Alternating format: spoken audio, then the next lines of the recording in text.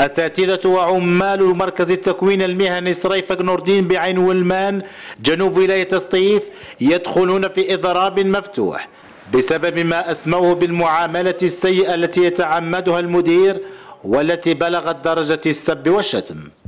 كراف آه، ضد المدير هذا لأنه أول مرة إحنا كنا الاستقبال تاعنا ليه والله كان جيد جدا يعني مع عادي إلا أنه هو أول اجتماع قام به معنا كان فيه تهديد مباشر للم...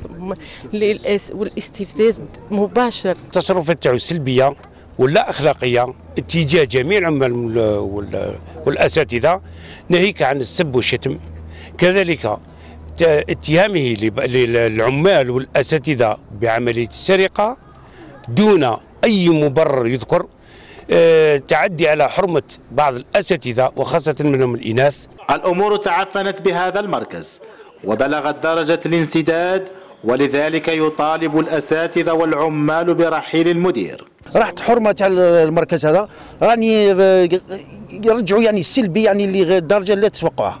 المطلب الوحيد تاع عمال المؤسسة الآن هو الرحيل الفوري والأكيد لهذا المدير إلى وجهة لا تكون قريبة من عين من المدير التقيناه في مكتبه وصرح للشروق نيوز. آه، الشيء اللي راهم يهضروا فيه العمال باللي رانا نسبوا ونشتموا هذا نفندوا قطعيا باللي راهم كاش منها.